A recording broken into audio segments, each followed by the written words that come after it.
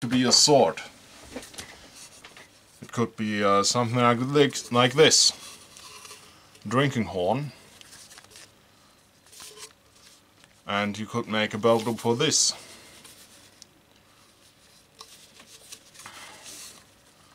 This one's made from thin leather, like the pouches I made. And it's again sewn together, not riveted. But uh, this time we're using stronger leather. That's uh, 3 millimeter thick leather. And that's easier to rivet than to sew. So, circumference. This is the thickest part of the blade. And you can measure it with measuring tape or just get it like this. Not this long.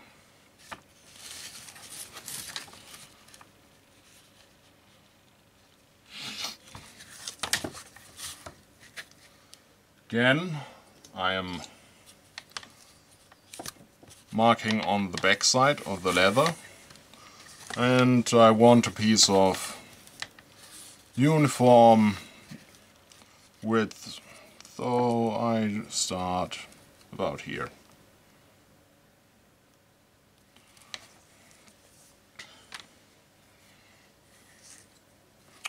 Again, I squared off, just eyeballing it. But you could use a square to make sure it's good and square. Mark it that way.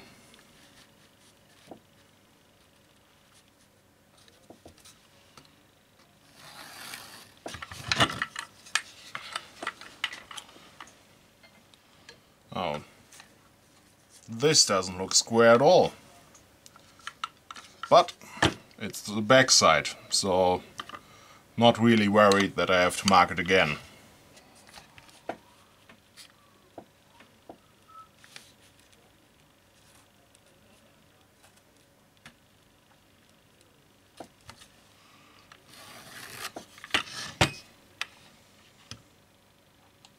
This looks better. Alright. Now to cut it. I use the carpet knife. And you could want a sharp knife so it's easy to cut. So you could either put in a new blade or you sharpen your blade. Because I'm a miser. I want to use my tools for a long time. I have this Belgian stone. It's whetstone with about 3000 or 5000 grit. So it's really smooth. And just pull your knife a few times over it, even if it's dry. It's good enough to make the carpet knife good and sharp again.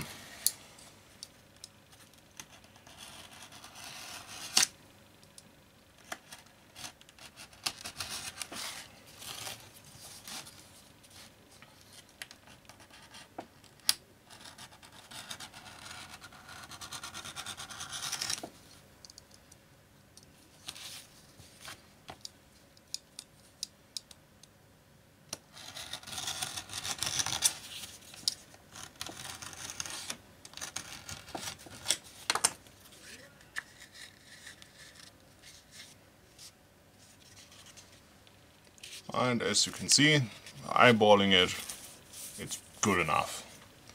Good enough for belt loop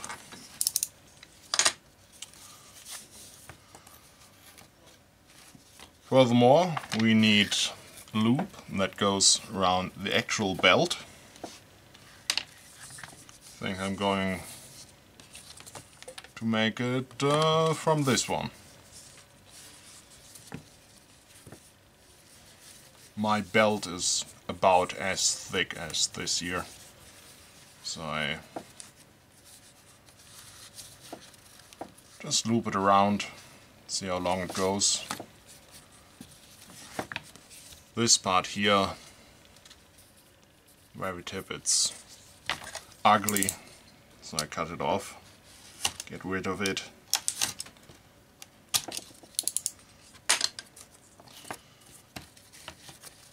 Use the rest.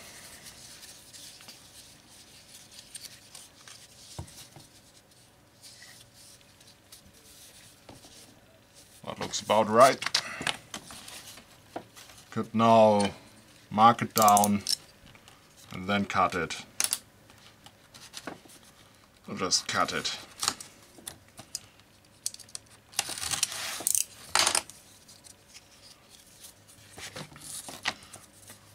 Now, this isn't rectangular at all.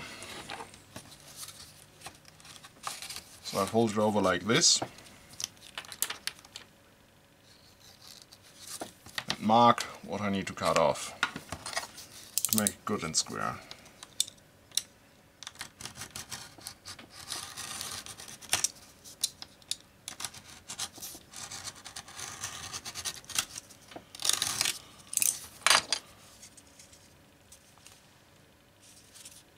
Good enough.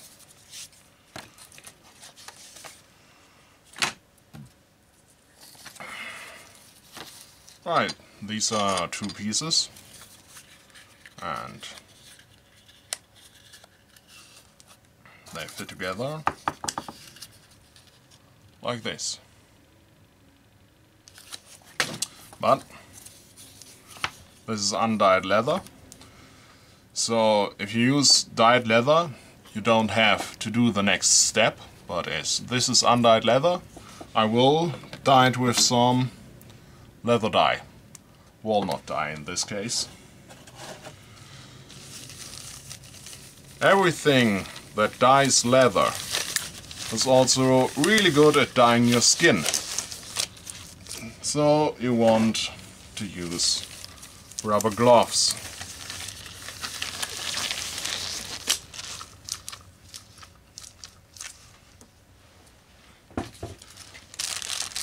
The best way I found to apply leather dye is just uh, use a handkerchief or anything and then just rub it in with circular motions.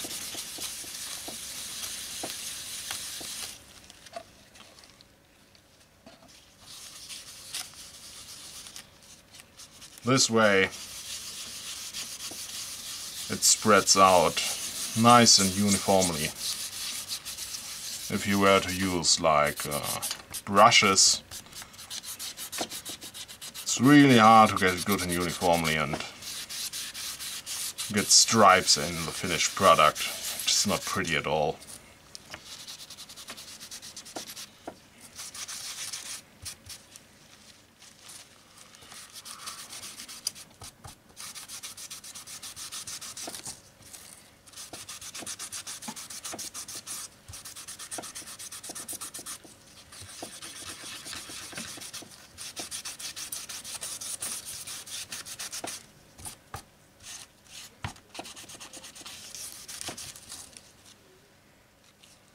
There.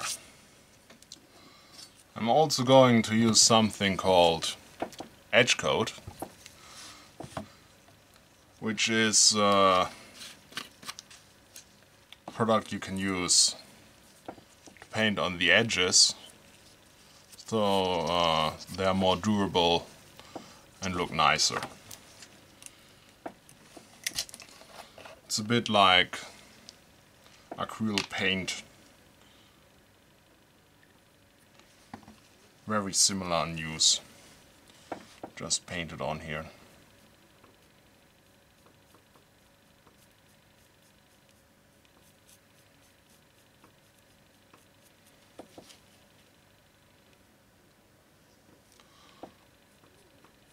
And after you're finished dyeing and painting your leather, you want to let it dry for half an hour or one hour. So it's good and dry before you do the next step. So again, you won't dye your hands on the dyed leather. This will take a while, so I'll get back to you once I'm finished. Okay, we're back. This is now fully painted. It's dried for an hour.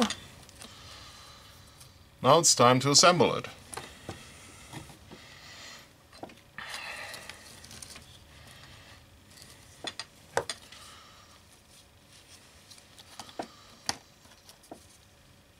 I'm going to make two holes into the belt loop.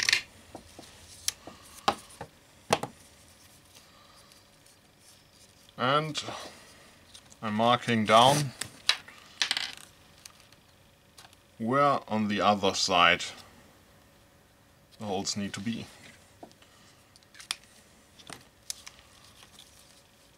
I make these holes.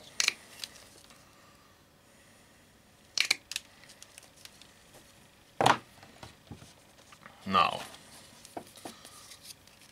this has to go on here like this.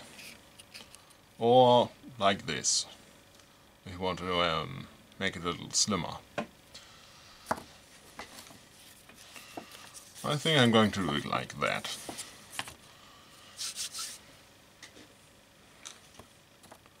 So let's see, where's the middle?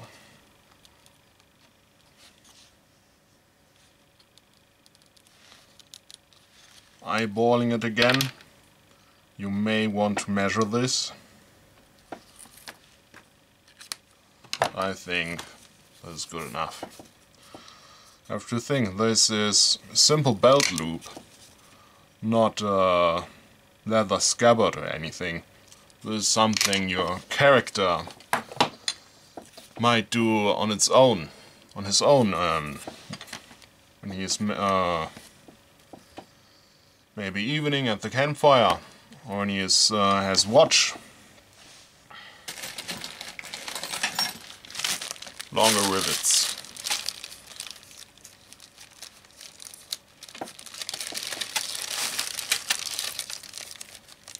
These are also brass rivets, so uh, they look a lot nicer.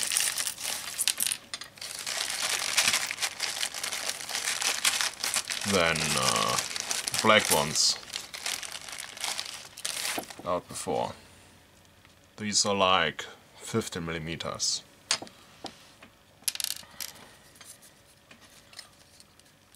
Rivets are fairly easy to use.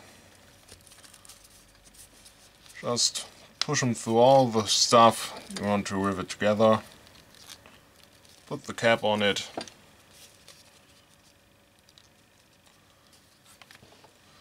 And then you take a hammer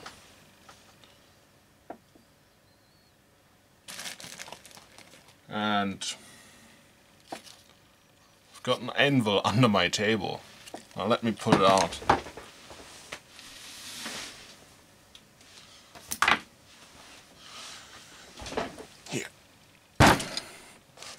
You don't necessarily need an anvil to do this, but I found that this is uh, the easiest and best way to do it.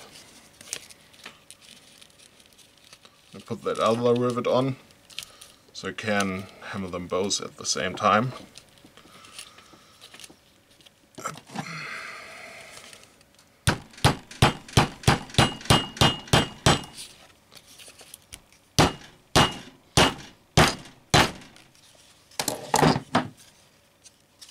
and this won't come apart anytime soon.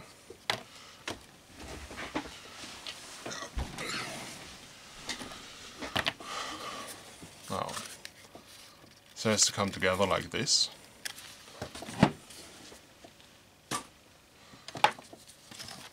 So let's make a few holes. I think three is enough.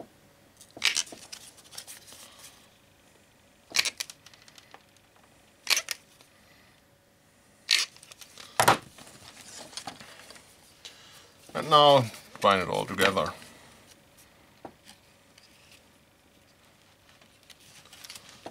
Sometimes it's hard to get uh, this leather strings through the holes, I like to thin out the edge a little bit so you can get it through easily. Like this. Maybe Yeah. Should be able to pull this through.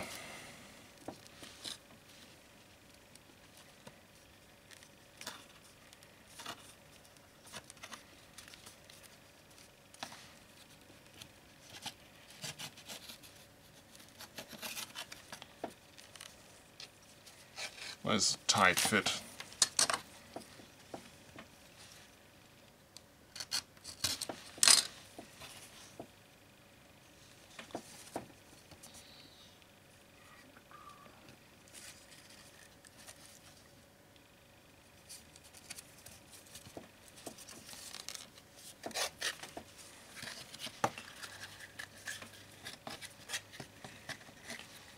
Alright, there are several ways you could string this.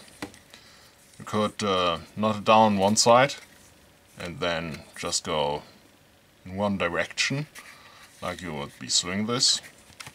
You could go crosswise or you could go crosswise and always from inside to outside like I'm doing now.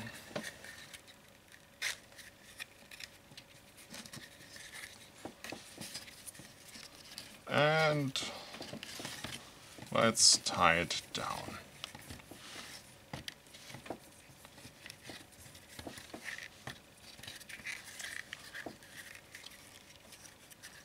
As you can see, simple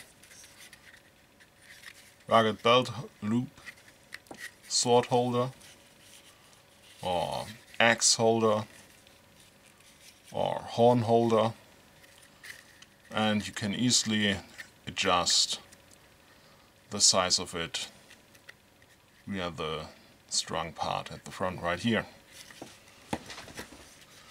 Oh, let's see if it fits.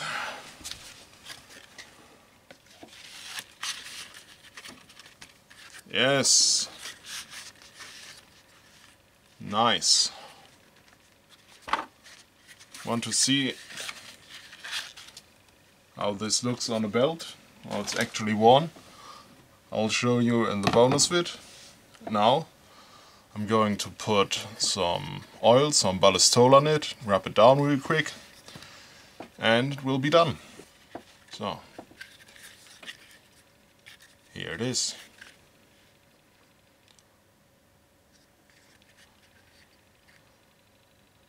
That's it for today. If you liked this video, consider liking it down below and subscribing to my channel. Thanks and goodbye.